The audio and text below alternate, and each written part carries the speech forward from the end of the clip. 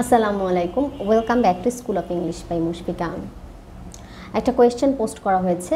I will be back after gap রেখে hour I will be back after এখানে সঠিক উত্তর নিয়ে অনেকেই কনফিউজড কেউ কেউ বলছো, এ কেন হবে না? এ আওয়ার এক ঘণ্টা। A hour H O U R এখানে যদিও এইচ কিন্তু সাউন্ডটা আওয়ার এই জন্য সঠিক উত্তরটা হবে অ্যান আওয়ার অ্যান আওয়ার দিলে আবার কেউ কেউ কোয়েশ্চেন করছ অ্যান আওয়ার হবে কেন? ফিউ আওয়ার তো হতে পারে।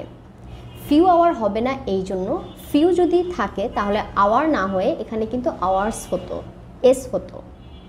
ওকে কারণ এটা প্লুরাল ফর্মে চলে যাবে তখন। তো এক ঘণ্টা বুঝিয়েছে, এই জন্য অ্যান আওয়ার ওয়ান আওয়ার যেমন এক ঘণ্টা অ্যান আওয়ার মানেও এক ঘণ্টা। তাহলে vowel A E I O U এই পাঁচটা ভাওয়েল লেটার থাকলে যেমন অ্যান দিতে হয়, কিছু ব্যতিক্রম থাকে, কিন্তু সাধারণত A E I O U থাকলে অ্যান হয়। আবার সাউন্ড যদি ভাওয়েল লেটারের মতো হয়, তখনও অ্যান হয়। এই ক্ষেত্রে আমাদের সেন্টেন্সটা একদম কারেক্ট হবে যদি আমরা বলি I will be back after an hour okay আশা করি বুঝতে পেরেছ। আর ফিউ হলে প্লুরাল ফর্মে চলে যেত। যেমন I have few friends okay I have few books তখন ফিউ এর পরে যে ওয়ার্ড আসবে নাউন সেটা প্লুরাল ফর্মে আসবে। থ্যাংকস ফর ওয়াচিং আসসালামু আলাইকুম